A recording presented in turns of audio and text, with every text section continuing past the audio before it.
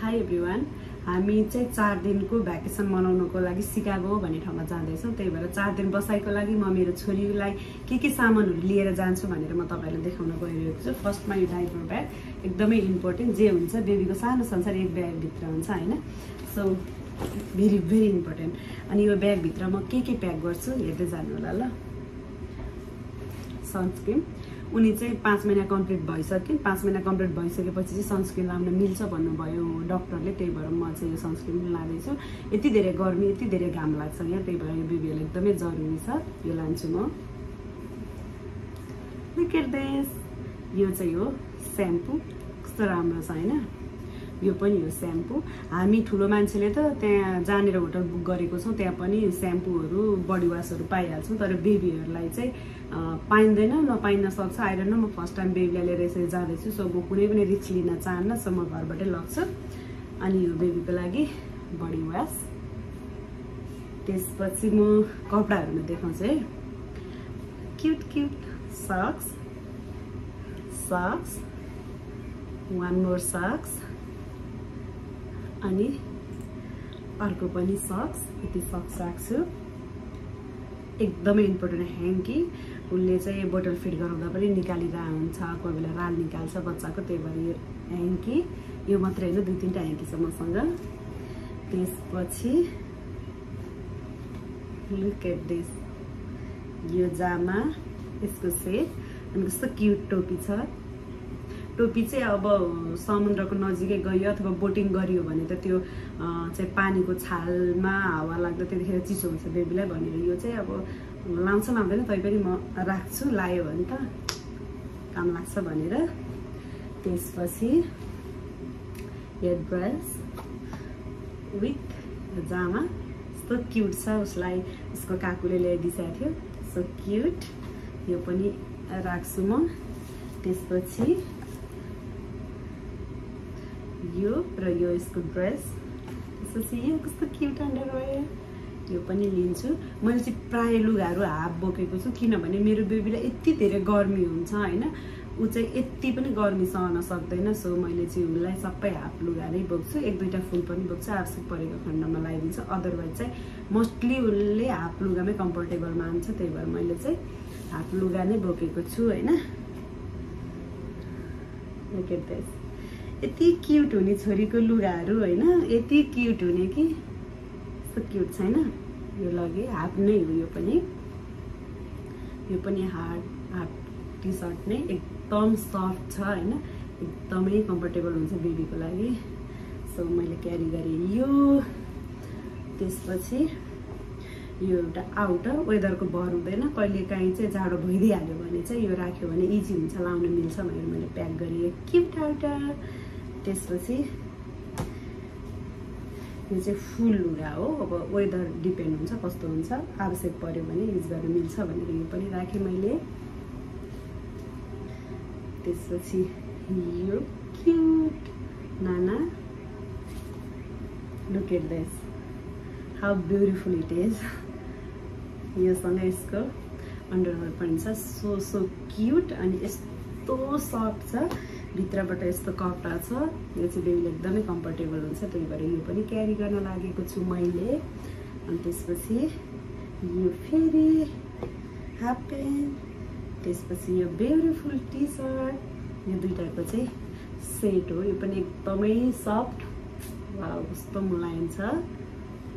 अब लामो ट्राभल गर्दा चाहिँ अलिकति बेबीलाई चाहिँ कम्फर्टेबल हुने लुगामा ध्यान दिनुपर्छ विशेष गरेर त्यही भएर मैले चाहिँ अलिकति सफ्ट होस् भनेर उसलाई चाहिँ जस्तो टाइपको लुगामा कम्फोर्टेबल हुन्छ त्यस्तै लुगा क्यारी गर्न लगाएको देन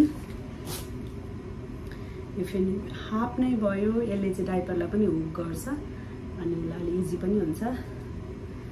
यो पनि हाफ हो यो चाहिँ एकदमै धेरै उसलाई गर्मी भयो भने व्हाइट कलर पनि छ प्लस यहाँ डाइपर हुक गर्नु पनि पर्छ। यति लगाइदिएपछि उसलाई एक्स्ट्रा ड्रेस एड गर्नु पर्दैन सो मैले यो पनि लाने सोचेर राखेको छु।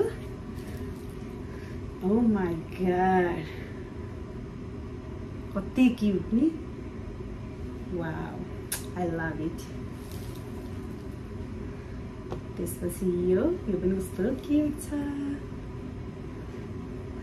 देन यो जामा यो चाहिँ उसको हजुरबाको फेभरेट हो। त्यही भएर यो लाने कि लाने भन्छु। ल लाने भनेर राखेँ यो पनि।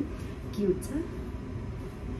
त्यसपछि हेयर ब्यान्ड दुईवटा अझै एउटा छ होला। उसले चाहिँ बेसिकली हेयर ब्यान्डहरू लाउँदैन। उसको कपाल एकदम लामो भएर अडिँदैन पनि अनि उसलाई मन पनि पराउँदैन। तर कहिलेकाहीँ फोटो खिच्दा राम्रो देखिन्छ भनेर सो क्युट यो दुइटा हेयर ब्यान्ड लगेँ। अनि यो चाहिँ स्ट्रगिङ आवश्यक परेको खण्डमा उसलाई जाडो भयो भने लाउन हुन्छ भनेर। देन देन देन देन यो पनि एउटा आउटर हो। यस्तो आउटर छ उसलाई जाडो भयो भने लगाइदिनुहुन्छ भनेर। क्युट छ हाफ पेन्ट। यो चाहिँ यो जामाको सेट हो। कस्तो क्युट छ नि। जे देखो त्यही राम्रो लाग्ने बा। यो पनि कस्तो क्युट छ। यो पनि लान लगाएको छु। देन यो सर्ट्स यो पनि लान लगाएको छु। अनि यो हेयर ब्यान्ड यो चाहिँ कस्तो बिग बो छ क्या कस्तो राम्रो लागेर मलाई। लाउनै मान्दिनँ तर कति डर लाग्छ तै पनि बोक्छु मानिहाल्यो भने एकछिन फोटो खिच्नुहुन्छ भनेर। यो पनि लान लगाएको it's so cute and beautiful then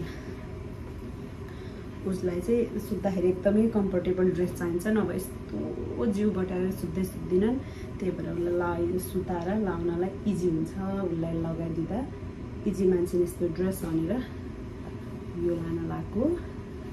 त्यसपछि यो चाहिँ एक्स्ट्रा सुरुवालहरू बेबीको त भर हुँदैन नि त। त्यही भएर के हुन्छ बाटोमा होइन? यो चाहिँ एक्स्ट्रा त्यसपछि फेरि यो हाफ मोस्ट इम्पोर्टेन्ट बिफ एकदमै धेरै निकाल्छिन् होइन? त्यसपछि उसलाई खान मन छैन भने मुखमा यति तानी तानी टिच टिच बनाएर फ्याल्छन् क्या त्यही भएर यो चाहिँ मोस्ट इम्पोर्टेन्ट एउटा त म घाँटीमा लगाइदिइरहेको छु यहाँदेखि जाँदा। सो तिनवटा मैले यो क्यारी गरेको छु यो मोस्ट इम्पोर्टेन्ट त्यसपछि लास्टमा के सर्स यो र यो चाहिँ सेट हो होइन? कस्तो क्युट के यस्तो राम्रो लाग्यो मलाई। यति लान लाग्यो उनको ड्रेस जान लगाएको चार दिनको लागि कति लाउन भ्याउँछन् कति लाउन भ्याउँदैनन् त्यो त थाहा छैन। तैपनि बोकेर गएपछि एटलिस्ट ढुक्क हुन्छ नि त चाहेको खण्डमा युज गर्न मिल्छ। त्यसपछि यो चाहिँ कहिलेकाहीँ उनको नाक ब्लक हुन्छ मर्निङ टाइममा त्यही भएर यो स्प्रे हालिदिएपछि उसलाई रिलिफ हुन्छ भनेर यो पनि एउटा बोक्न लगाएको यो बेबी फ्रेन्डली हो बेबीहरूलाई लाउन मिल्छ अनि एकदम राम्रो पनि छ। मैले मेरो बेबीलाई अलमोस्ट बन्द भएको कति दिनदेखि ब्लक भएको थियो त्यो बेलादेखि युज गरेको स्टिल युज गरिरहेको छु इट्स भेरी नाइस अर्को भनेको ब्यासलिन मैले चाहिँ ऱ्यासेस आउँदाखेरि धेरै क्रिमहरू युज गरेँ होइन? बेबी अलिकति मोटी चाहिँ त्यही भएर एकदमै बडीमा ऱ्यासेसहरू आउँथ्यो अरू क्रिमहरू धेरै युज गरेँ तर मलाई बेस्ट र एकदम मन परेको चाहिँ भ्यासलिन भ्यासलिन चाहिँ एकदमै राम्रो बेबीहरूको ऱ्यासेसको लागि। सो यसलाई पनि म लिएर जाँदैछु। देन यो बडी लोसन भइहाल्यो। यो त अब बेबीहरूको बडी एकदमै ड्राई हुन्छ त्यही भएर यो लोसन एकदमै जरुरी छ बेबीहरूलाई त्यही भएर मैले लगेँ यो लोसन। त्यसपछि यो त फर्मुला भइहाल्यो होइन? जेनरली यो त मस्ट मस्ट मस्ट इम्पोर्टेन्ट भइहाल्यो। यो फर्मुला योसँग मैले चार पाँचवटा बोतल लान्छु तर बोतल चाहिँ यहाँनिर ल्याएको छैन। मैले उता वास गरेर राखिरहेको छु रेडी गरेको छु। देन डाइपर्स यति धेरै डाइपर्स यति धेरै डाइपर्स होइन? किन्न पनि पाइन्छ तै पनि बोकेर पनि गइरहेको छु। पुगेन भने उहाँ किन्न पनि पाइहाल्छ। त्यही भएर यो चाहिँ म यो डाइपर ब्यागमा हाल्छु। यो ब्याग आफैसँग हुन्छ। अरू चाहिँ लगेजमा राखेर अरू डाइपरहरू चाहिँ म गाडीमा राखिदिन्छु। उहाँ पुगेपछि युज गर्न मिल्छ। सो डाइपर्स अनि त्यसपछि वाइप्स यो त चाहि नै हाल्यो होइन त्यसपछि यहाँ के राखेछु थाहा छ